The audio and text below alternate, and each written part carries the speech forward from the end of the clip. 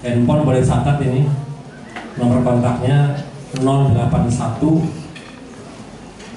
294 9 1378 email aljastro at yahoo.com pendidikan dimulai dari madrasah ibtidaiyah Rodotul Ilmu Ulum Rodotul Ulum di Pati NTS Al Huda sama di Pati kemudian Man Koi. Man Sayu Pati. S1 nya Fakultas Tarbiyah YIN Sunan Kalijaga Yogyakarta Ngayogya. S2 nya Sosiologi Universitas Indonesia Jakarta. S3 sama Sosiologi Universitas Indonesia Jakarta Demikian kurikulum singkat dari pemateri nasional satu. Berikutnya kami akan bacakan kurikulum kita dari narasumber dua. Nama Profesor Dr. Haji Jamal Sahrodi. Tempat tanggal lahir Brebes 8 April 1968. Ternyata lebih muda dari tadi uh, narasumber satu. Narasumber satu lahir 66 ini narasumber dua lahirnya 68 beda 2 tahun. Alamat Jalan Perjuangan Bypass Sunyaragi Cirebon. Kode pos 45135 nomor kontak beliau 081 312 047 070 email Sahrodi Jamali. Pendidikan dimulai dari SDN di Purba Purbayasa tamat tahun 90, eh, 1981 SMP Kusmanegoro Tonjong di Purbayasa ada Tonjong ada Tanjung kalau Tanjung sebelah sini Tonjong sebelah sana kalau Tanjung itu pegunungan, kalau di Tanjung itu pesisir dekatnya. Lulus tahun 1984, kemudian SMAN 1 Bumi Ayu. Lulus tahun 1987, S1 IAIN Sunan Gunung Jati Cirebon. Selesai tahun 92, S2 IAIN Sumatera Utara S2 ya, Medan.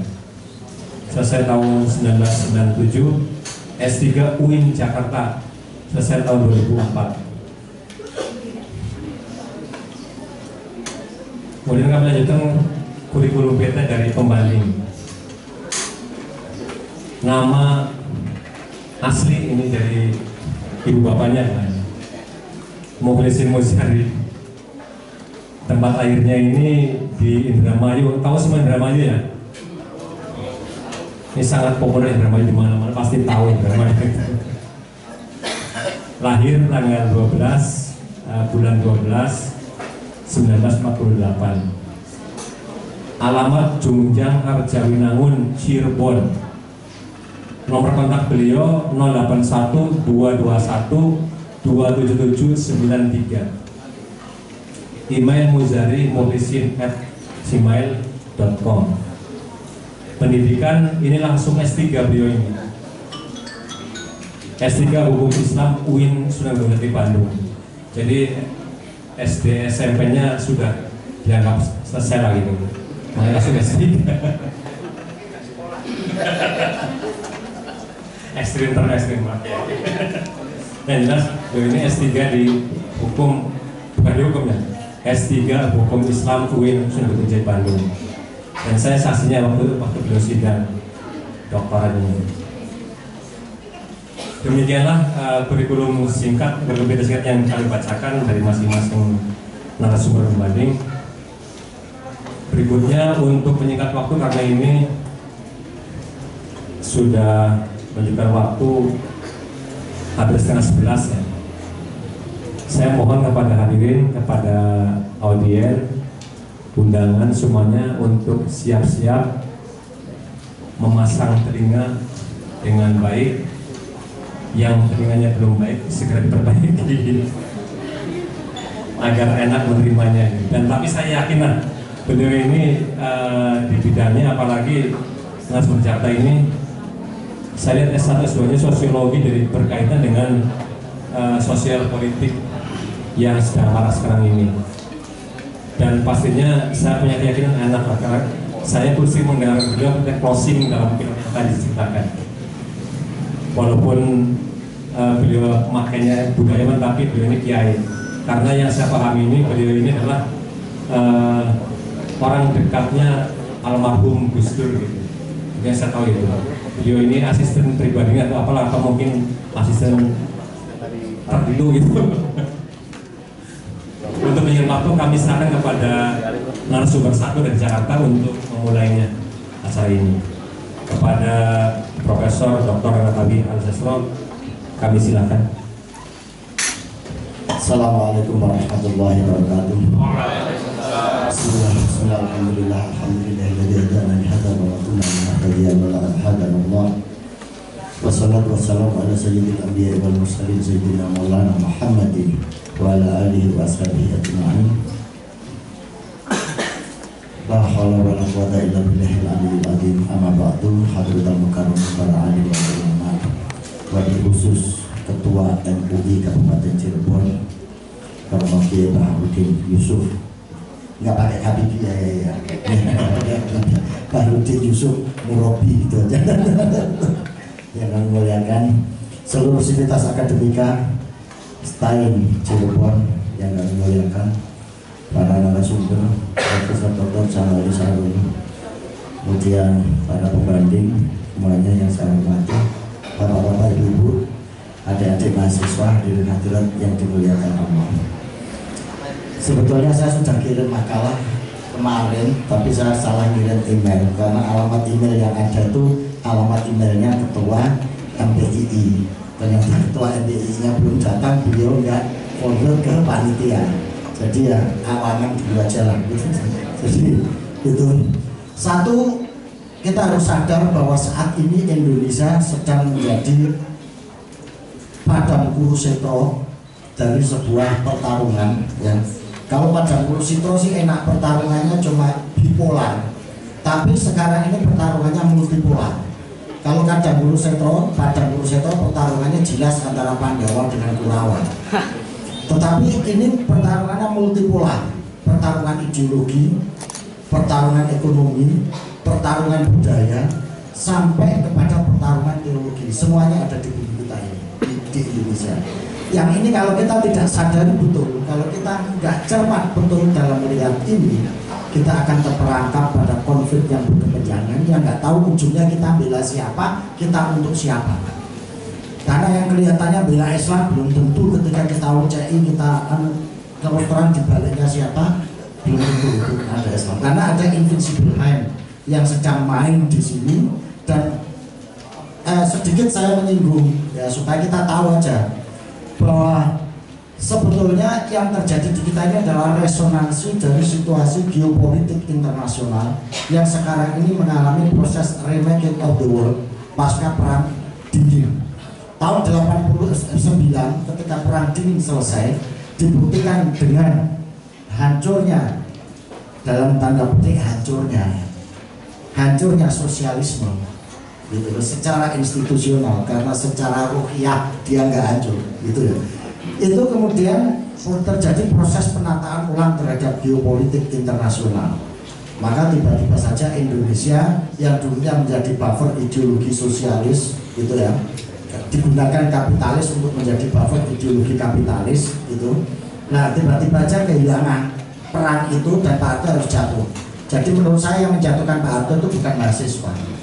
Tetapi apa konspirasi politik internasional yang sudah tidak menginginkan Pak Harto kembali karena harus digantikan oleh peran baru. Nah mahasiswa ini hanya triggernya aja, alat pukulnya aja gitu. Kalau Pak Harto jatuh itu saya itu demonstrasi dari 89 sampai 98 Pak Harto nggak jatuh-jatuh kok. Nah baru tiga bulan itu gerakan mahasiswa kok Pak Harto jatuh karena dorong tuanya sudah nggak menghendaki lagi. Kira-kira seperti itu. maka Marco pun jatuh itu nah jadi sebetulnya yang sedang bergerak ini adalah ideologi materialisme. Materialisme ini ibarat pesawat tadi dijelaskan. Ini bisa jalan kalau sayap kanan kirinya ini ada. Dulu sebelum uh, sayap kanan kiri ini itu adalah sosialisme dan kapitalisme. Ini adalah sayap kanan sayap kirinya. Ketika perang dunia kedua menjelang perang dunia kedua muncul ideologi yang disebut dengan fasisme ketika muncul ideologi fasisme maka uh, muncul doktrin Dimitrov yang mengatakan sosialisme kapitalisme seluruh dunia harap bersatu untuk menghadapi fasisme. Maka sosialisme pindah ke kanan, bergabung dengan kapitalisme, sayap kirinya sudah digantikan posisinya oleh uh, fasisme. Fasisme Jepang, fasisme Nazi, Jerman. Makanya saat itu berdirilah sekutu Amerika sebagai kampion kapitalis bersekutu dengan Rusia sebagai kampion sosialis. Bersatu di situ. Nah, begitu perang e, dunia kedua selesai bagi-bagi warisan, yaitu negara-negara kolonial ini dibagi secara adil dan merata oleh geng kaum materialis maka sosialisme pindah ke lagi maka membentuklah perang dingin itu ketika perang dingin selesai ditandai dengan runtuhnya sosialis maka untuk menggerakkan roda materialisme ini yang diciptakan musuh baru yang disebut dengan fasisme religius yang disebut dengan fundamentalis itulah gitu. Nah kalau kita baca sebelum itu kan sudah ada warning-warning dari beberapa penulis ya misalnya ketika dikatakan ada ada perang peradaban blok barat dan blok timur dan lain sebagainya dan lain sebagainya itu, itu sebetulnya adalah prakondisi secara akademik untuk memuluskan skenario dalam membangun remaking of the world dan sekarang ini dari bagian dari proses remaking of the world itu Nah, salah satunya adalah menjadikan Indonesia sebagai ya kelanjutan dari itu sebetulnya kita nggak nggak jauh beranjak dari kolonialisme model baru aja sebetulnya gitu. Nah, dalam kondisi seperti ini sebetulnya kita punya daya tahan. Daya tahan salah satunya ini adalah Islam wasatiyah.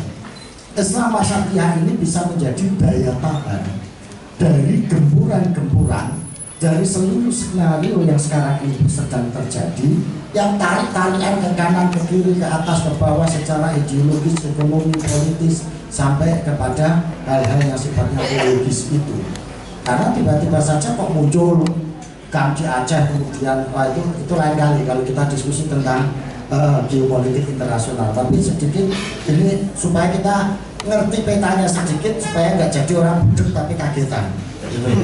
Dan mereka kita lupa tiba-tiba teroris muncul. Lupa tiba-tiba eh, ini ya itu. Jadi ini. Nah kenapa saya menyebutnya Islam wasatiyah ini bisa menjadi benteng? Gitu ya. Uh, karena kita ini mayoritas muslim. Nah saya menyatakan ya sebagai negara yang berketuhanan tidak beragama loh kita itu berketuhanan kita itu uh, negara yang berketahanan berketuhanan maka agama menjadi alat vital dalam instrumen pertahanan, dalam instrumen defense terhadap situasi yang berkembang saat ini. Tapi juga harus dicatat, ya menghadapi tantangan ini harus diakui agama pun bisa menjadi problem pemicu konflik jika tidak dipahami secara tepat. Saya tidak mengatakan benar, tepat. Karena kebenaran agama itu itu ya ya yang kita yakini yang benar. Itu loh yang kita yakini yang benar. Gitu. Jadi makanya saya sering mengatakan yakinilah kebenaran agama tetapi lakukanlah agama yang baik. Gitu. Karena kalau kebenaran agama itu kok dari geger mesti dari geger gitu.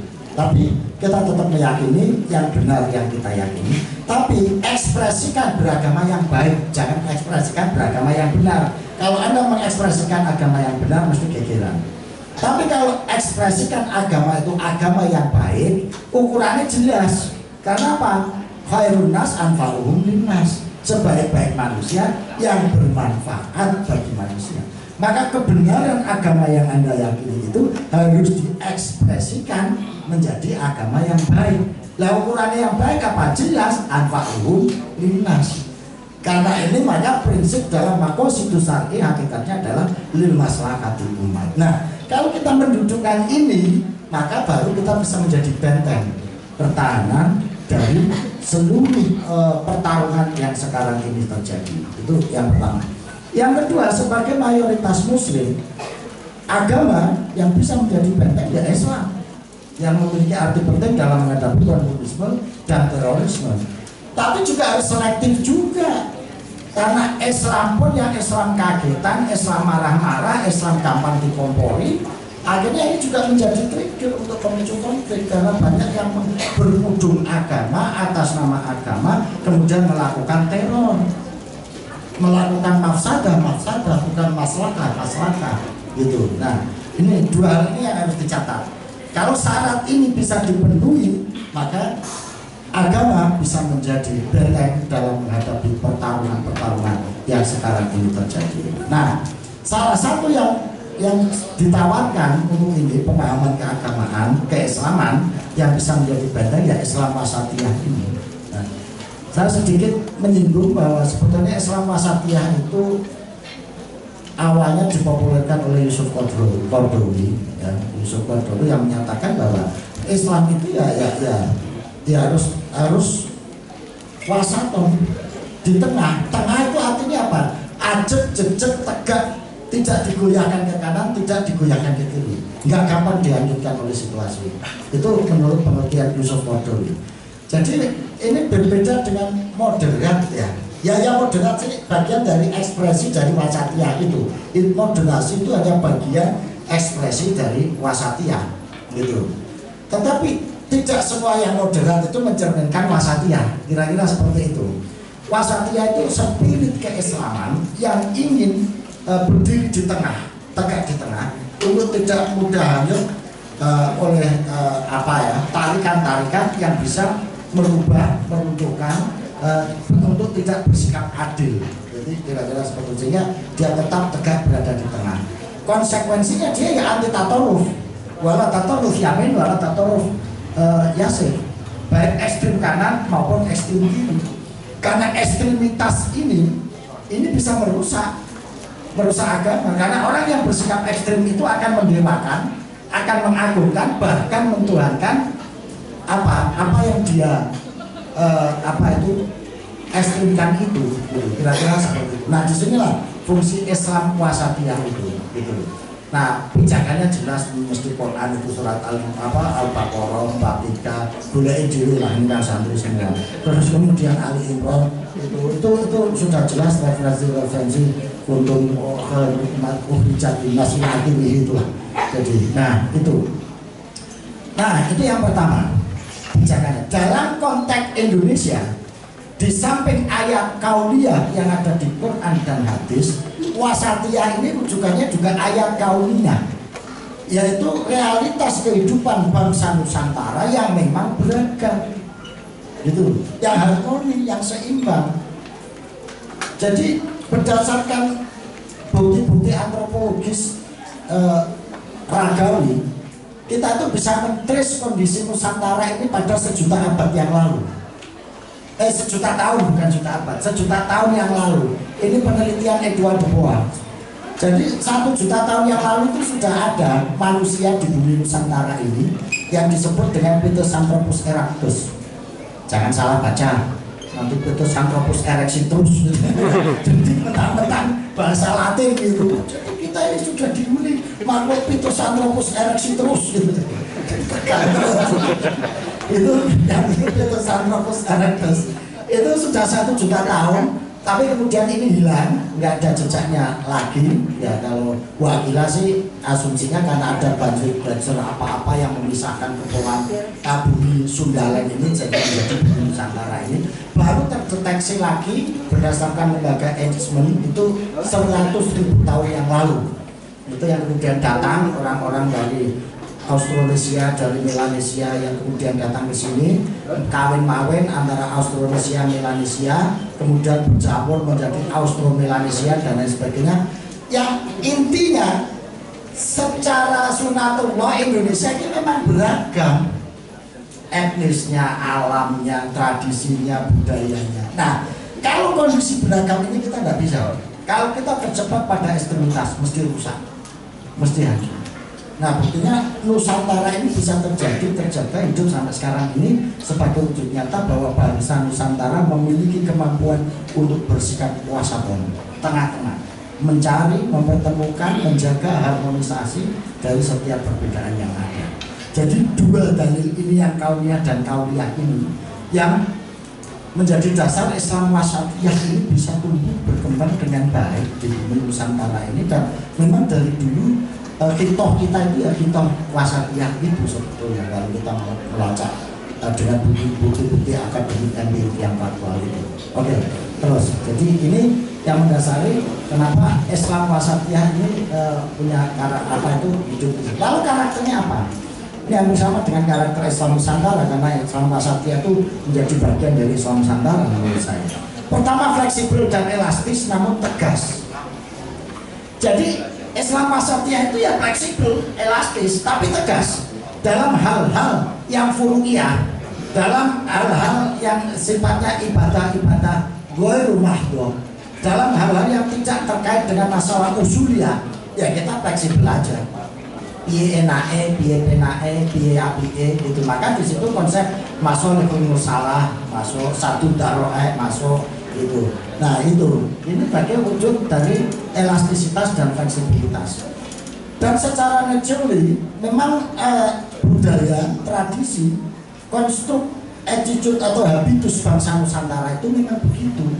Maka inilah yang menyebabkan seluruh budaya-budaya yang masuk ke sini itu nggak hilang ada jejaknya dan membentuk lapisan-lapisan yang oleh Danis Lombard disebut dengan eh, lapisan-lapisan budaya karena tidak hilang tapi datang di sini diracun bukan untuk dikonflikkan.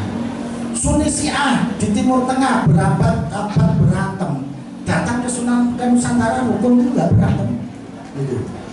Terus kemudian Hinayana Mahayana yang di India berabad-abad berantem. Datang ke Nusantara rukun. Hindu Buddha berantem di catatan uh, Asia Selatan. Datang ke sini rukun. Islam yang di sana juga gegeran terus. Datang ke sini rukun inilah kemampuan fleksibilitas uh, dan elastisitas yang mampu merajut itu gitu. Itu yang pertama. Tapi tegas ketika soal prinsip dilanggar PKI begitu sudah ngecek urusan prinsip ya bangsa muncul dibilang itu.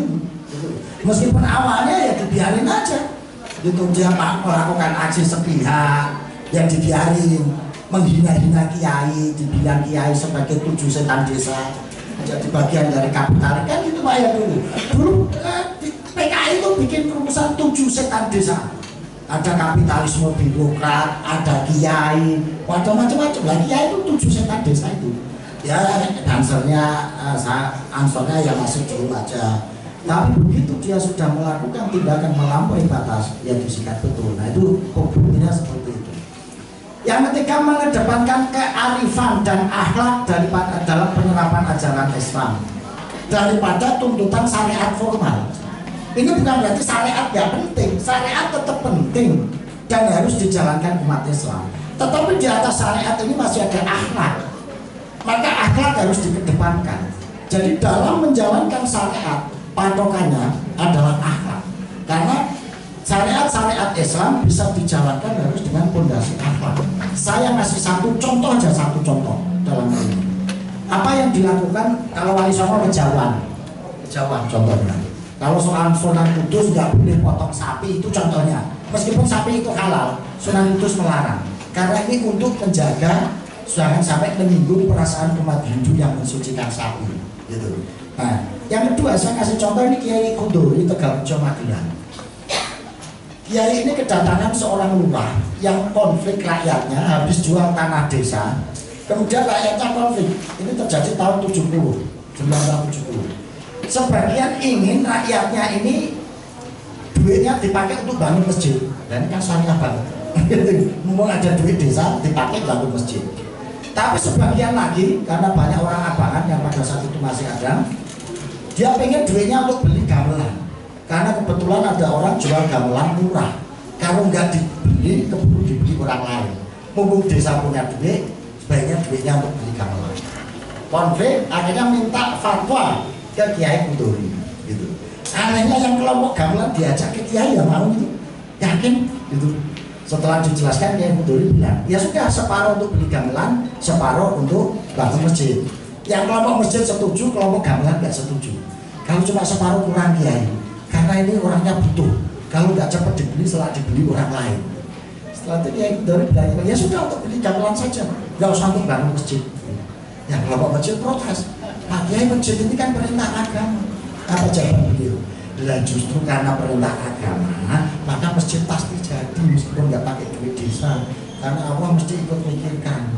Gitu. makanya di Islam itu ada ajaran sodako jariah untuk bangun masjid ini lah sodako jariah untuk beli gamelan itu belum ada. Bangun beli gamelan aja kita dia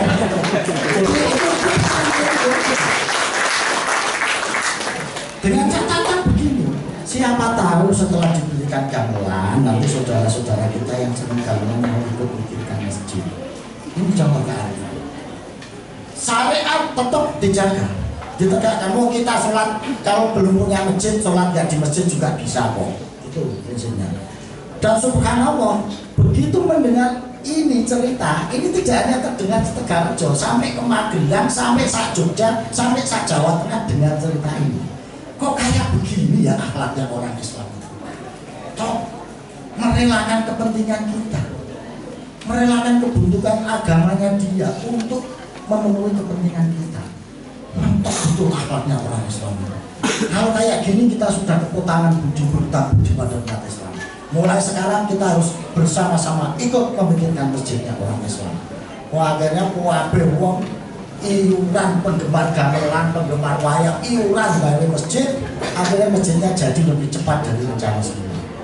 Ini contoh bagaimana akhlak harus ditegakkan. Nah kita menjalankan syariat, jangan mentang-mentang syariat Islam kabeh dilindes. Kabeh wes pokoknya iki yo karena syariat Islam. Ya kudu contoh kudu wis tau sementara wis sholat gak masjid gak apa-apa secara syariat yo sah. Daripada kok kowe gawe masjid larani hatinya setahun dulu kok masjid jadi simbol kebencian. Boro-boro masjid ini kita nggak bisa bikin gamelan jadi dulu nah itu jarum di hati itu anu nah tapi dengan cara itu kan masjidnya jadi lebih cepat orangnya juga seneng sama masjid. Bahkan kelompok gamelan pun akhirnya mau ikut ke masjid dengan cara ini. Ini contoh. Penerapan Islam wasatiyah yang betul-betul berdiri di tengah untuk itu gitu. Sehingga pluralitas yang ada ini bisa terayomi semua tanpa harus melanggar syariat Islam. Karena dia menegakkan syariat Islam. Ciri yang ketiga itu ada yaitu uh, apa menolak tindakan pemikiran ekstrim tadi walatantor yamin walatan itu ditolak. Karena pemikiran ekstrim itu bisa menuhankan pemikiran itu sendiri. Gitu. sehingga orang rela mati demi PKI orang rela mati demi materialisme itu kan sudah membuatnya dan bahkan orang rela mati bukan demi Tuhan tapi demi agama. Gitu loh. Maka Gus Dur pernah mengatakan kalau ada engkau bertengkar engkau berkelahi karena beda agama maka Tuhan kamu itu adalah agama kalau engkau membunuh orang gara-gara beda keyakinan maka Tuhan kamu adalah keyakinan ya itu kira-kira seperti itu oke berikutnya nah akar historis kultural Islam uh, apa wasatiyah di Islam Nusantara. Kenapa saya menyatakan bahwa Islam wasatiyah di Islam? Karena Islam Nusantara itu hakikatnya pondasinya pada empat nilai, yaitu tawasud, tasamuh, tawazun, iktidal. Nah tawasud inilah yang menjadikan Islam wasatiyah, gitu loh. Mungkin ada yang mengatakan bahwa tawasud, apa tawazun, tasamuh itu adalah ekspresi dari Islam wasatiyah. Ya ada apa-apa ya gitu aja kok freeport. Jadi nggak usah nggak usah diperbedakan yang itu lah. Kira-kira seperti itu. Dalam konteks historis kultural Islam wasatiyah itu sudah ada sejak zaman Wali Songo perintisnya itu adalah zaman Wali Songo sebetulnya kalau konteks Nusantara loh kalau konteks anu ya zaman Nabi sudah gitu dalam konteks Nusantara itu adalah sejak zaman Wali Songo yang menghasilkan suatu konstruksi budaya pemikiran yang dikenal dengan Islam Nusantara itu gitu. Nah, jadi Islam Wasatiyah itu ya bagian dari strategi strategi dakwah yang menjadikan solusi atas kevakuman penyebaran Islam. Jadi Islam ini nggak diterima loh di bumi Nusantara ini selama 8 abad. Karena bukti sejarah menunjukkan Islam sudah masuk abad akhir abad ke-7. Itu kalau sampai baca Hari Hazard, Jeremy, Said Nabil Al-Atas itu bukti-bukti sekitar 694, 690, 83 itu Islam sudah masuk di Nusantara. Artinya abad ke-7 Islam sudah masuk di Nusantara. Tapi kan baru bisa diterima dan berkembang abad 15 eranya Wali Songo. Artinya dari abad ke-8 taruhlah abad ke-8 sampai 15 ini Islam nggak diterima di bumi Nusantara ini. Ini dibuktikan dengan catatan Marco Polo yang mengatakan waktu itu dia melakukan ekspedisi mampir ke Nusantara ini sekitar abad ke-14 mayoritas kita itu masih Hindu juga, masih Kapitayan juga diperkuat dengan catatan Haji Pak Wan, sekretarisnya Cenggu. Nah, itu juga mengatakan begitu mayoritas masih kapitayan agama pribumi, baru Hindu Buddha. Islam hanya dipeluk oleh minoritas asing dari India, Cina, dan Arab yang menduduki posisi pesisiran. Nah inilah yang dikoreksi oleh Wali Songo Berarti ada something wrong dalam penyebaran dan dakwah metodenya Baru Wali Songo menggunakan strategi kultural itulah hanya kurang dari 50 tahun, kurang lebih 50 tahun bisa membalikkan situasi dari mayoritas Hindu Buddha Kapitayan menjadi mayoritas Islam. Jadi kan hanya satu generasi demak aja itu, itu sudah mayoritas Islam. Itu dengan pendekatan Islam Nusantara yang kultural yang include di dalamnya itu adalah Islam Wasatiyah, gitu loh. Maka saya mengatakan Islam Wasatiyah itu menjadi part justru min Islam Nusantara yang bijakannya itu adalah tawasud atau wasatiyah, tasamun, tawazun dan iktidal. Jadi itu. Terus Oke. Nah, efektivitas dan daya tahan Islam wasatiyah dalam bumi Nusantara ini sudah teruji bahwa itu tadi saya mengatakan bahwa kita ini dijajah tiga setengah abad kurang lebih tapi Islam tidak goyah tetap mayoritas Islam jadi kita ditekan, kita dibenci, kita disingkirkan. Bahkan kiai-kiai ulama-ulama minggir bikin pesantren ke daerah pedalaman karena tekanan Belanda Karena tekanan kolonial. Tapi kita nggak punya, tetap mayoritas Islam Coba bandingkan di Spanyol. Sekian abad Spanyol menguasai Lalu Islam menguasai Spanyol dan daratan Eropa. Tapi begitu kekuasaan berbalik Kekuasaan Islam diganti Kristen. Balik total semuanya jadi Kristen. Tapi di Nusantara ini enggak. Kekuasaan diganti kolonial 350 tahun kita diinjek-injek. 350 tahun kita disingkirkan. Tetap mayoritas itu kan artinya memiliki daya tahan nah ini yang mestinya menjadi contoh dunia. Arab mestinya belajar kita dalam hal ini itu loh dalam hal sustainability of life dan strategi apa struggle of our life dari kekuatan Islam di kita ini. Gak punya mas. Itu loh. nah sekarang ini kita dikepung lagi digerus lagi dengan itu tadi perang.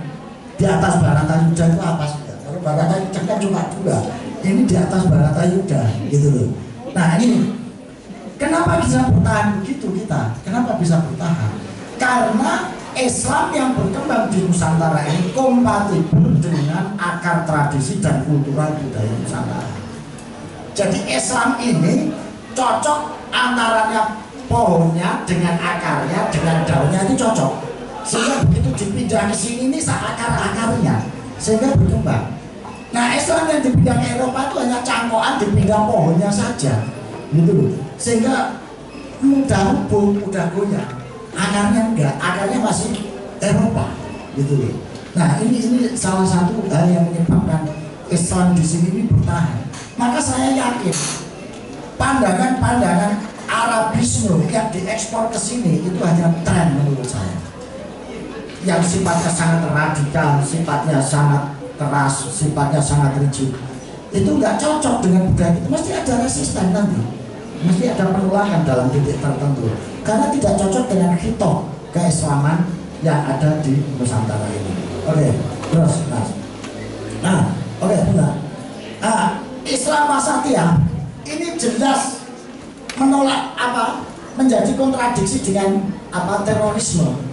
gitu ya secara paradigmatik filosofis terjadi hubungan yang kontradiktif antara Islam wasatiyah dengan terorisme maka ini dengan sendirinya ya Islam wasatiyah ini menjadi antitesis dari terorisme. Maka secara intrinsik dan instinktif Islam wasatiyah mesti menjadi trigger untuk menolak terorisme. Dari segi kerangka paradigmatiknya dari segi eh, apa itu spiritnya itu mesti dia menjadi antitesa dari terorisme. Maka nggak usah diomongin mesti akan jalan dengan sendirinya. Kalau ada teroris mesti Islam wasatiyah akan gerak untuk melawan. Kalau ada ngomong orang ngomong saya Islam wasatiyah tetapi terhadap teroris dia nggak bergerak berarti dia nggak paham Islam wasatiyah atau Islam wasatiyahnya itu hanya omongan. Gitu itu. Nah selain itu tadi uh, dia memiliki kompatibilitas dengan budaya Nusantara yang yang anti terhadap ekstremitas anti terhadap uh, terorisme itu kan ekspresi dari sikap ekstrim itu. Itu wujudnya ekspresinya kemudian menjadi teroris itu gitu. nah dua hal inilah yang secara sunatullah secara kita ini mesti nolak apa itu komunisme.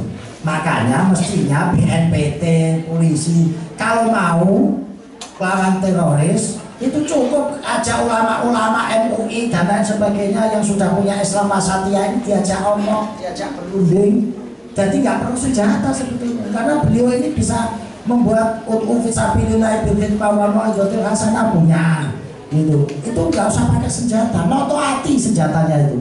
Kalau IW ini senjatanya noto hati. Nah sekarang IW dengan komunisme. Ini akan menjadi instrumen efektif untuk menolak komunisme jika komunisme menggunakan cara-cara anarki dan teror. Kalau komunisme menggunakan cara anarki dan teror mesti IW akan melawan sing repot yang repot ini perlu diingat dan diwaspadai. Jika komunisme menggunakan cara-cara kultural maka ini perlu berpikir lebih jauh Pak untuk menghadapi ini strateginya. Ya karena kita harus membuat konsep gerakan kultural gerakan uh, apa itu perlawanan yang berbasis kultural berbasis nasional apa konsep pemikiran dan berbasis gerakan sosial bukan gerakan-gerakan yang lain Contohnya ya, komunisme di Indonesia ini sejak zaman Tan Malaka itu sudah paham ini.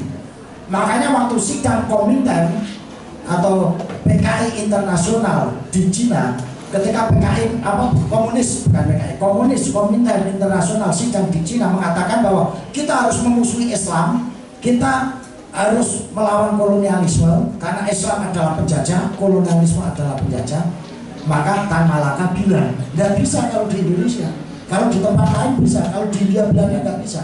Karena Islam punya beberapa nilai yang kompatibel dengan spirit komunisme. Kita harus menipu orang Islam untuk bisa masuk dalam gerakan komunisme dengan bahasa Islam. Ini yang menyebabkan pemberontakan PKI pertama tahun 1926 itu banyak kiai-kiai torekoh yang tertipu dan masuk dalam gerakan itu. Ini baca penelitian-penelitian uh, yang ada misalnya uh, Salim Makmun itu meneliti ini Mitchell William itu menyatakan bahwa inti dari gerakan komunisme tahun 26 itu justru kiai-kiai Toreko kenapa? karena PKI membungkus bahasanya dia dengan bahasa Islam di selama ini PKI katanya Partai Kiai Indonesia. Ini yang terjadi 26 begitu. Ini kan dia pakai gerakan kultural. Terus kemudian awal tahun uh, 1400-an PKI berhasil merebut hati kiai-kiai yang berpikiran kritis. Yang terkenal pada saya itu surat Al-Ma'un. Nah itu. Pak Musolir itu lagi Fadal lagi yatumul yatim komunisme peduli pada anak yatim. Walayahudu ala amil miskin komunisme peduli pada orang-orang miskin yang dijajah Belanda. Macam-macam itu. Maka orang macam Haji Misbah masuk di situ. Kiai Sirot masuk di situ. Bukan Sirot sini ya yang di Solo. Nah ini karena mereka pakai gerakan kultural ini. Nah sekarang mereka pakai gini juga. Gitu loh. Nah inilah yang Islam Wasatria harus memeras otak memeras pikiran membuat strategi yang tidak serampangan. Yang harus betul-betul suatu fikir dan lain sebagainya itu harus ditata. Karena kalau udah kayak begini nggak bisa teriak-teriak begini dan harus dihadapi dengan pola-pola pikir suatu fikir gerakan kebudayaan gerakan sosial yang mampu untuk mendudukkan ini menarik mereka yang sudah tertarik di ekstrem kiri ini ke tengah lagi yang sama dengan menarik kita yang sudah di ekstrem kanan dengan teroris ini ke tengah lagi. Terus mas strategi kulturalnya menurut saya uh, agar bisa menghadapi gerakan kultural komunis maka ini harus menggunakan pendekatan budaya dan tetap menjadi bagian dari gerakan Islam Nusantara. Ini artinya pola gerakan Wali Songo, ulama Nusantara dan kiai-kiai yang terlibat dalam pengrumusan pendidikan bangsa yang lebih mengutamakan kearifan dan akhlakul karimah menempatkan syariat formal secara proporsional harus menjadikan gerakan utama dalam mengaktualisasikan ini. Gitu karena kalau kita cuma teriak-teriak ini syariah ini penting ini itu itu jadi jadi jadi makanannya anu komunisme pasti itu. Gitu maka kita harus kembali ke, ke yang dilakukan contoh-contoh yang dilakukan Kiai Budori itu tadi harus mulai kita lakukan. Contoh-contoh yang dilakukan Sunan Kudus harus mulai kita lakukan. Contoh-contoh yang dilakukan Mbah Hashim As'ari ketika menerima Pancasila Mana, kenapa sih kok kita ini NKRI harga mati kok bukan syariah harga mati? Ya karena begini pikirannya. Contoh-contoh yang mengedepankan anak itu tadi. Kita menegakkan syariat wajib. Tetapi syariat bisa dijalankan kalau negara ini tentram, negara ini aman, negara ini baik, kuat. Nah kalau negara nggak aman, nggak tentram, berkelahi terus, mana bisa syariat ditegakkan? Kita di Suriah susah loh menegakkan syariat karena gegeran terus maka di sini berlaku prinsip malam yang tiru illa bihi wajib fahuwa wajib. Kalau sesuatu barang perkara wajib tidak bisa terpenuhi maka barang itu hukumnya jadi wajib. Menegakkan syariat Islam wajib. Tetapi syariat Islam bisa tegak kalau NKRI ini tertata dengan baik kuat. Maka supaya syariat bisa jalan NKRI harus tegak. Maka menjaga NKRI hukumnya jadi wajib. Jadi prinsipnya begitu. Ini salah satu contoh hal-hal seperti ini harus harus kita lakukan gitu. Nah, strateginya pertama kembali ke akar sejarah. Sekarang ini orang banyak ikut larut hanyut dalam arus terorisme itu karena dia nggak ngerti sejarah. Ulama-ulama kita dulu belajar ke Timur Tengah. Syekh Nawawi Al-Bantani, Abu Somad Al-Banjari, eh, Abu Somad Al-Falid Bani Syekh Arsad Al-Banjari Nuruddin Araneli Hamzah Fansuri Mbah Hasim As'ari Syekh Katib Al-Minangkabumi semuanya belajar ke Timur Tengah. Tapi begitu pulang ke Indonesia dia tetap jadi Islam yang menggunakan cara-cara budaya Indonesia untuk memahami, mengajarkan dan menerapkan ajaran Islam. Dia nggak jadi orang Arab. Nama pondok aja itu meskipun ada bahasa Arabnya dia tetap pakai bahasa Jawa. Pondok gedongan pondok kempek, pondok lirboyo, pondok tebileng, pondok termas. Meskipun ada bahasa Arabnya ini mencerminkan bahwa dia tetap menghargai lokalitasnya. Gitu. Terus yang belajar ke barat semuanya Ceto Bangun Kusumo, Tirto Adi Suryo, Kiajar Jiwantoro, Dr. Juanda, A.A. Maramis Begitu pulang tetap jadi orang Indonesia Sosro Kartono itu penulis kalian perang dunia ke satu tapi dia tetap jadi orang Nusantara. Enggak hilang. Ini karena dia ngerti sejarah. Sejarah itu adalah marojul haya bagi setiap manusia. Kalau anda nggak ngerti sejarah maka referensi anda adalah yang diberikan orang lain pada anda. Karena anda nggak punya pembanding. Diberikan ibu taitnya dimakan habis-habis ibu taitnya diberikan pemikiran wahabi dimakan telan-telan pemikiran wahabi yang ngambil-ngambilin semua orang itu karena Anda nggak punya referensi sejarah dari kehidupan keislaman kenusantara Anda. Yang kedua adalah pahami tradisi Anda. Karena tradisi ini adalah akar ketika Anda menghadapi guncangan-guncangan pusaran-pusaran arus yang sedang menimpa Anda itu. Orang dulu nggak hanya nggak indah karena punya akar yang kuat yaitu tradisi dan pemahaman sejarah yang konkret sebagai marji kaya. Ini yang perlu saya tegaskan kalau ini kita lakukan, maka Islam wasatiyah benar-benar bisa menjadi alat yang andal dalam menghadapi kolonial apa terorisme dan komunisme. Kalau enggak kita akan dilibas oleh uh, mereka itu. Karena apa? Saat ini sudah banyak generasi kita yang hilang, yang hanyut. Maka dalam keadaan ini saya, ini takwil saya Pak Kiai, karena di sini ada ulama, saya ingin mentaskah pikiran saya. Dulu Nabi pernah mengatakan, Alimu awadakum bisibah atau Ajarkan anakmu untuk berenang dan memanah. Saya mengaktualisasikan dan mengkontekstualisasikan hadis ini. Berenang saat ini tidak semata-mata berenang di air dan di lautan. Karena kalau berenang di air sudah ada kapal selam dan peran kita sekarang adalah suatu fitur. Maka berenang di sini aktualisasinya, kontekstualisasinya adalah berenang di gelombang arus kebudayaan dan informasi. Kalau Anda nggak bisa berenang di sini, Anda akan hanyut hilang lebur dalam budaya orang lain dalam uh, informasi orang lain. Tenggelam kalian di situ.